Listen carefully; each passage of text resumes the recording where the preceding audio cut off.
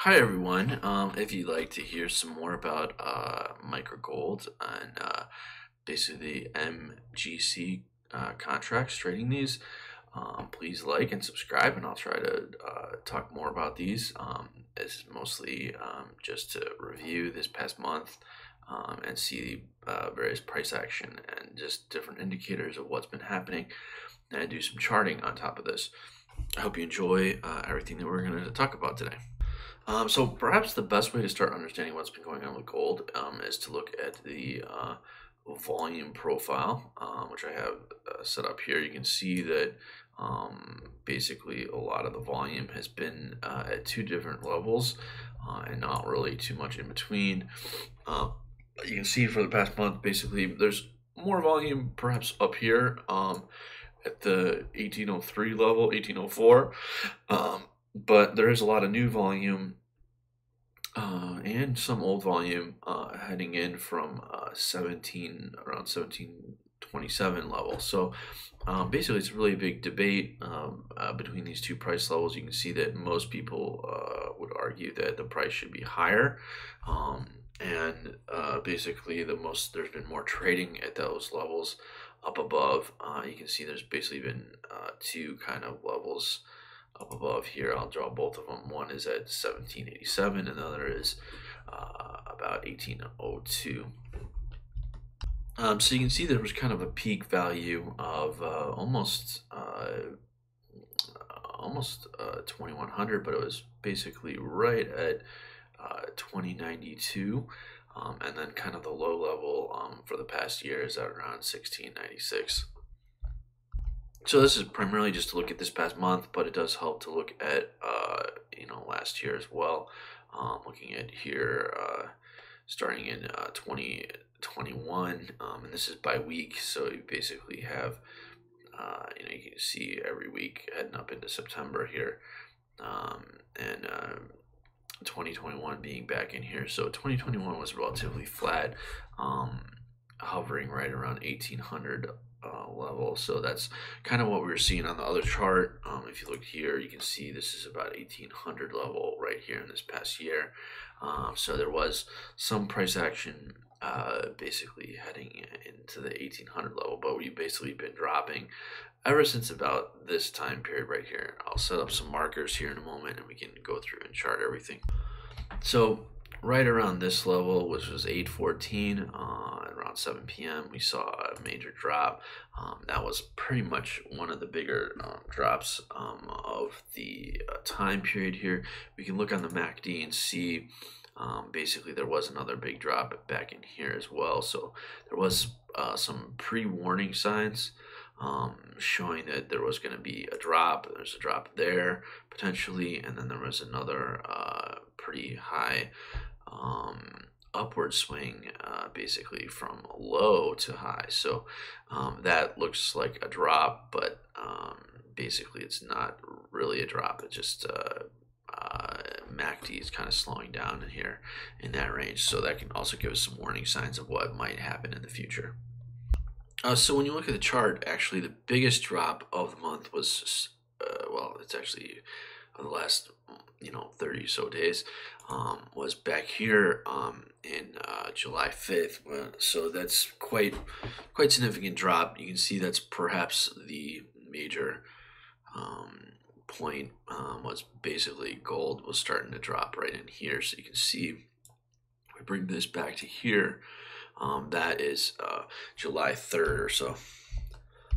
So in terms of specific news, you can see the Ukrainian uh, Russian uh, war here was uh, quite significant uh, events uh, around this July 3rd time. Um, so you can see there was uh, bombing and some, you know, retreat by the Ukrainian forces. So the worst of it basically was um, from here around uh, 7.3 to 7.21. You can see that uh, MACD primarily um, was uh, negative values in this range with a couple of positive uh, spikes within there. So the part of this review is looking at the volume and part of this is looking at the price. Um, so the volume, um, if you look down here, uh, I don't have all the volume for it, but it's basically for the past month. Um, so we can kind of review that primarily, but you can see um, if we draw some lines here, just draw these in blue so you can kind of see what's been going on. Volume went up here, volume went down there, then the volume went back up, and then the volume's been going back down again. So higher volume, you can basically say that price has trusted more. So um, there's higher volume in this range here. And there's also some pretty high volume on the downside here. You can see um, so people are trusting this price right in here pretty heavily around 1736. Uh, um, so it's important to say though that the price is down at this level. Um, you know, though as a as the as this was going down, um, you know, the volume is actually quite low. So, uh, from 814 to basically around 822, um, the volume was at the lowest points, um, perhaps. So you can also look at the volume oscillator. Um, some of this might be visible here, so you can kind of see that, uh, again, that the volume did kind of decrease into here into the zero range. Um, and you can see that um, there was quite a lot of negative, there's almost a negative channel here um, heading down uh, in the volume starting back in uh, 8, 8, 9 or so. So you can start to see that this starts to channel down. Um, and then that channel kind of breaks right around here and becomes an upward channel um, somewhere in this range. So somewhere around uh, 817 or so. So right now, uh, we're perhaps in a lower channel um, heading down in volume um, to negative. So this looks like very negative actually. Um, in general, um, these some of these negative spikes have been pretty serious. Um, let's see if we can see that uh, on the main things. You can see that there was some pretty negative spikes here and here um, on the volume. Um, so that shows up uh, on the clear volume oscillator pretty pretty easily. You can see this negative spike here and a negative spike here, and then actually another negative spike in here. Um, so, and then a recent pretty serious negative spike. Um, so, uh, but the nice part about these is we can pretty much tell um, where that low point is in the volume. So you can say, um, typically we're looking at a lower volume around here, and typically we're looking at a higher volume around this level. So, um, so you can see that basically most of the volume uh, does tend to be positive on the spikes here. You can see a little bit around 600, whereas the negative volume is around 300 or so. So the average true range of gold, um, you know, typically every 60 minutes or so, um, you know, looks like it's fluctuating. It's kind of been uh, dry, you know, it's been getting to be less fluctuating actually, uh, particularly right in here. You can see it was about three points, uh, three and a half points uh, per 60 minutes, and now it's up maybe to about four and a half points. So that average changes um, over time, and you can see that uh, you know sometimes volatility isn't so good uh, for the price of gold. So unless it's going up, uh, but um, you know it just really depends on what the ATR is um, in terms of uh, things. So you can check that as well, um, and then we can see the money flow here. So there's um, kind of it's a little bit difficult. You could argue that the money flow is going down in here. Um, and you can also go argue that it's heading up in here, and this is kind of channeling to a positive, uh, you know, positive money flow overall with these two lines. You can even bring this up a little bit here and bring this, uh, sorry about that. Um, so you can bring this one over here and bring this one basically back in here. So it could kind of converge, bounce around here within this range, and then hit in here around 9-11, um, which is an interesting date uh, to converge on. But uh, so overall, in the past month, you can see that the channel was down. Um, you can see that there was basically pretty heavy down. Uh, uh, it's kind of hard to spot this uh, until you had the data from here.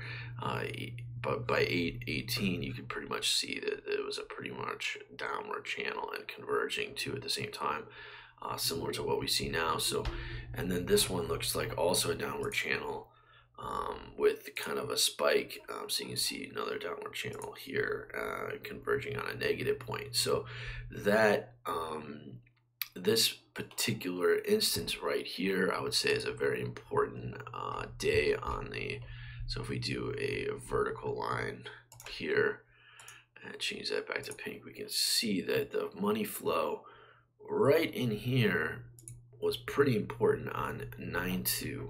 Um, so that money basically helped realign what was going on here, right? Without that spike, we could, you know, that was a pretty high spike.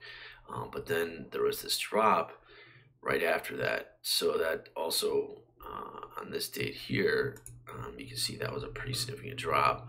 Um, even going back to um, time frame, different time frames, so you can see um, there was more significant money flow drops here. Um, this was pretty negative, um, perhaps the most negative part, um, but um, not a good sign. Actually, just seeing these low uh, spikes uh, on the money flow.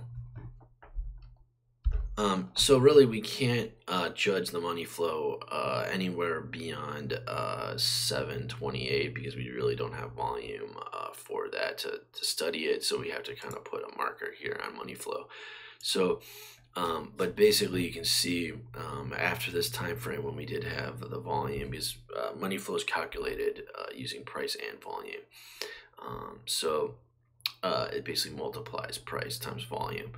Um, so uh, you can see that uh, there was pretty much a downtrend here, um, and even on the money pot, there was some positive money flow in here. Uh, as you can see, there's some positive activity, but right after this uh, date, 814, kind of the money was starting to drop again uh, out of out of the market, um, with a couple spikes here and there within the uh, the days. You can see. So overall, um, things have really been uh, not doing too good for uh, gold here. So you can see that uh, we are down at a pretty low level here, um, around 1722, uh, 1727, um, kind of even making a level of support here, um, and then having perhaps a level of resistance uh, up here at. Uh, but we're pretty much in the lower channel of this. Um, if we are to argue that uh, this is kind of the uh, level of support. Um, there are some signs to see support here, so we can see a couple bounces off of this low level of uh, 1700, um, and then even a bounce back in here. Um, so triple bounce uh, off of that level with uh, some support showing in this level here. So um, it could be a low um, for this, uh, but when I look back at the money flow, um, if I were to clear out some of these drawings here, um, and just clean this up a little bit, you can kind of see a little bit better. So on the money flow chart, you can see that this was definitely, this is definitely a, a downward trend in here. Um, and then we kind of had um, some upward trend here um, and then some upward trend here. But then again, it looks like it's kind of heading back down. Um, so we could see in the short term, um, perhaps some more downward trends, just because there's a lot of pressure from the downward trend that we saw previously. So on the volume chart, again, we see that, um, you know, there is kind of a, couple big spikes of negative volume in here that look really bad um, and not too many positive spikes. So there's a couple positive spikes, but basically all the major uh, downward trends have been pretty negative spikes uh, since about, um, well, it started around here. So let's just put a marker on a vertical right there. That's a pretty important date on this guy here. Um, but basically, that's uh, that day is 925, um, and so um, it looks like that was kind of a um, harsher day for uh, the whole market and everything. So um, it's pretty important to kind of keep track of uh, what where these points were and what was the original cause of this. So. Um, so you can see that what happened around that time was uh, there was all the debate about the uh, what, what's going on with the Ukraine's state nuclear company. Um, they were being attacked by the Russian uh, uh, invasion here, so they got disconnected, and then uh, for the first time in history, so that was a pretty big deal uh, in terms of nuclear power. People were kind of concerned, and that might have been one of the reasons for such negative volume on that day. So as you can see, that was pretty much the most negative volume of the history for the whole month. Uh, or month and a half. Um, you can see here going back September and August. Um, so it looked pretty bad. Uh, just that one day, that was actually the peak, um, higher than the highest gain here. So the gain was back in here um, of 810, um, and then looking at 826 uh, here. Um, so last but not least, the ATR average true range again.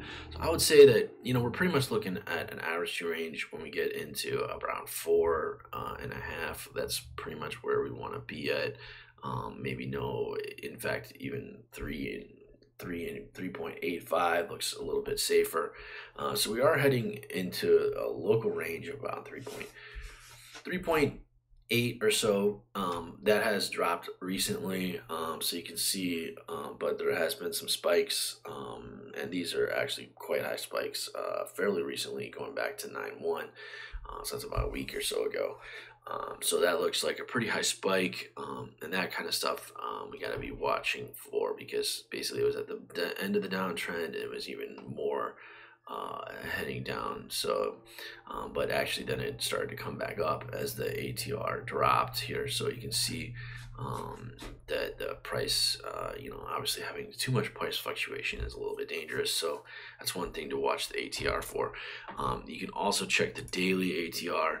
Um, and you can see that um, you know on average it's moving about uh, you know at the lower range here, which is great, uh, twenty two dollars or so per day. Um, so that's you know up and down trends quite a bit, um, uh, but it's a significant move. So you can also see back in here that um, you know the prices were doing best when the ATR was high. Um, but then after that, it started to drop. So you can see, um, you know, maybe the more stable points were down in here uh, for the price around 2007 um, because the ATR was leveling off a little bit. So this was quite, quite a lot of dramatic changes uh, in the market, um, you know, heading into 3.9 and uh, uh 22. Um, so going back to this past month, you can see that in general we've had a pretty major downtrend, um, and we are kind of perhaps at a lower range of the MACD. So basically, we expect some kind of bounce in this level, maybe a further downtrend, but not much further. Um, maybe uh, you can see this is around 21 points. Uh, um, and you know upwards of uh, you know that's 21 that's maybe another uh, 30 or 35 points uh, heading up. So um, we really don't know what the atr is going to be but um, it could be um, you know somewhat related to the macd here. Um, so you can see we almost have a crossover here so heading back into positive territory um, for the MACD. Um, but that still might take another day or so um, to do the cross. But we really were starting to do a crossover around 9.2. Um, and you can see these other uh, drops here. So we basically had a pretty significant um, drop starting back in here according to the MACD. Um, it still shows positive uh, crossover, but you can see on the chart it's converging, and then here it's kind of like waning and kind of getting close to dropping. So it actually started to drop pretty significantly right in this range here. Anyway, I hope you've enjoyed this study of gold. Um, as you can see, uh, we definitely come down from a high peak here, uh, many hundreds of points. Um, so that's kind of a concern right now. Um, and whether or not we'd go back up and how quickly we'd go back up is part of the question. So we are kind of hitting at a lower level here, um, and it does show quite a lot of support.